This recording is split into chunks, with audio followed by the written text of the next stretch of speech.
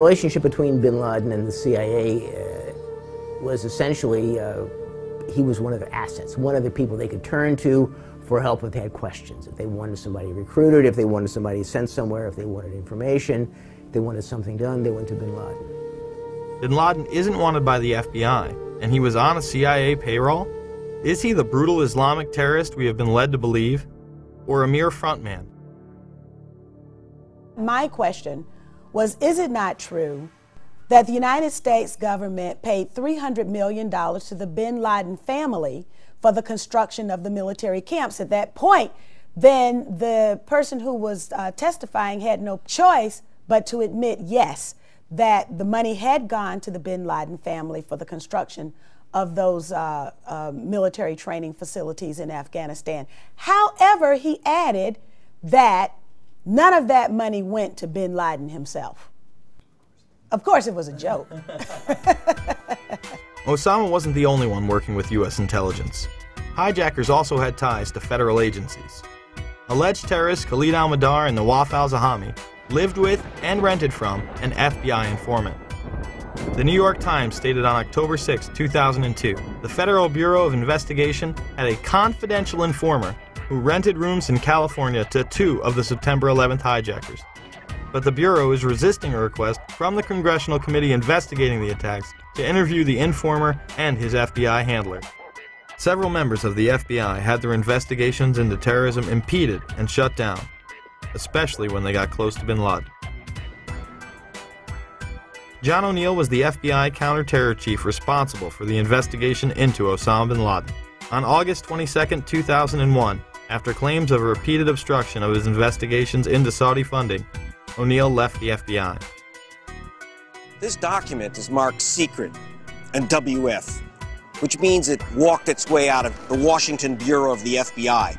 It indicates that before the attack of September 11th, agents had wanted to question two members of a very powerful family for their connections to a suspected terrorist organization. Omar and Abdullah bin Laden. But the agents weren't allowed to. O'Neill went on to take a new post as head of World Trade Center security. He would move into his office days before 9 11 and be killed during the attacks. Yeah. I have four children. I've lost friends that uh, John, yeah. John, uh, my friend from the FBI was killed. John O'Neill. Oh, I lost John people too. We, we lost a lot of family members. What did John O'Neill do before he worked in the John, World Trade Center? John was a FBI, in Head the, FBI, the FBI. He was tracking yeah. down Osama. He was tracking down Osama. Because the government didn't listen to him. The government didn't listen exactly. to him. The FBI. Hold on. Let's. We want to talk call a car to car. The FBI. The FBI fucked up. They knew about the flight training. Yes. That was a fuck up for having these people in yes. our country.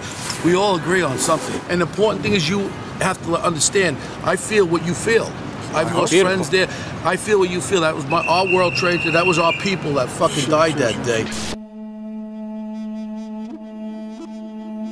At a time when bin Laden was the most wanted man in the world, why would intelligence agencies stop their own investigations, especially as they were closing in on him? Robert Wright and others within the FBI also had their investigations into terrorism stopped prior to 9 11. Since August of 1999, I've been working to legally expose the very real and foreseeable Middle Eastern terrorist threats to American citizens at home and abroad. From 1993 to 1999, I was assigned to the Chicago Division's Counterterrorism Task Force. The successful investigation, which was codenamed Vulgar Betrayal, V-U-L-G-A-R, Betrayal, led to the June 1998 seizure of $1.4 million of Middle Eastern terrorist funding. These funds were linked directly to Saudi businessman Yassin Qadhi. On October 12, 2001, Yassin Qadhi was designated by the United States government as a financial supporter of Osama bin Laden. Larry Klayman of Judicial Watch initially tried to help get Wright's story to the proper authorities. He wanted to come forward long before 9 11. We were taking those steps beginning last summer to do that. The FBI had 30 days to allow that to occur. They violated their own regulations. They covered it up. If you didn't hear me, I went specifically. I called the Attorney General's office just days after 9 11. I said, Dave Schippers and I represent a special agent of the FBI Chicago field office who has years of information about how the FBI did not do its job, did not in any way investigate in a meaningful way money laundering in the United States, you're now claiming you want to do this. I'd like to make them available to you, Attorney General Ashcroft. And I was met with a response by Michael Chertoff, head of the criminal division. We're tired of conspiracy theories. Michael Chertoff will later become the head of Homeland Security, the department set up to fight the war on terror after 9 11. Wright was also restricted from telling any specifics about their investigation.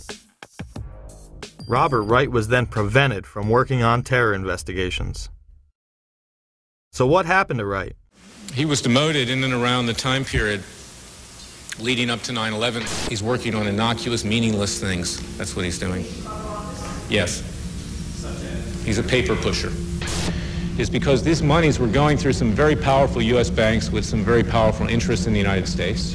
These banks knew or had reason to know that these monies were laundered by terrorists. Uh, and there are very significant potential conflicts of interest in both the Clinton and Bush administration, and in particular this Bush administration, uh, who is as tight with Saudi Arabia as you can get. The president's father used to stay with the bin Laden family when he would go to Saudi Arabia. Former President Bush spent the night in D.C. at the White House on September 10th. We've also learned at NBC that there was a President Bush in the White House during the morning of these events. His father, former President Bush, was actually at the White House the morning of the attack. The next day, elite financiers of the Carlyle Group would meet. This global private equity investment firm would profiteer enormously from the wars in the Middle East. At the table were both Bush Sr.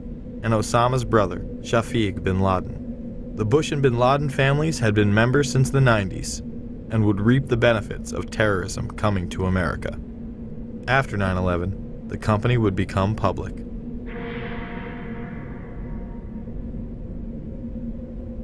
All, all I do agree with you is on one thing. Fucking Bush and Clinton with their relationship with Saudi fucking Yes, Arabia. yes. I agree with Yes. you. They're kissing their asses like that. That's bullshit. Yeah. Because they're sucked up and that family that took off, that's a fucking crime. The family Mr. Deedle is referring to is, of course, the bin Ladens.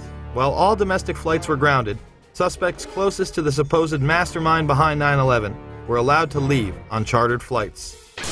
Let's show you some video that was taken exclusively by News Channel 2 eight days after 9 11. That man there is Osama bin Laden's younger brother Khalil, who had been here vacationing with other family members there on an estate that they owned in West Orange County.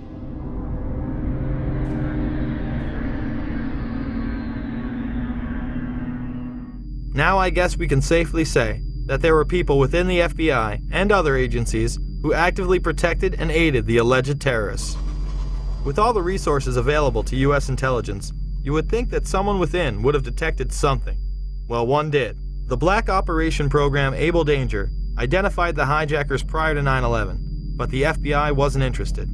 Lieutenant Colonel Anthony Shaffer, an intelligence officer inside Able Danger, tried to blow the whistle several times. Was the commission that investigated the 9 11 attacks told that lead hijacker Mohammed Atta had been identified and as Al Qaeda operative more than a year before terrorists struck? I'm told confidently uh, by the person who did move the material over that the 9 11 Commission received two briefcase size containers of documents. I can tell you for a fact that would not be one. 120th of the information that, that Able Danger consisted of during the time we spent. Shaffer would also meet with Philip Zelikow, the executive director of the 9 11 Commission. What did Shaffer tell Zelikow? And I'm quoting how I remember saying it. We found, as part of the data run, we found two of the three cells which conducted the 9 11 attacks to include Atta. Shaffer says his unit linked Atta to Al Qaeda leaders, but would not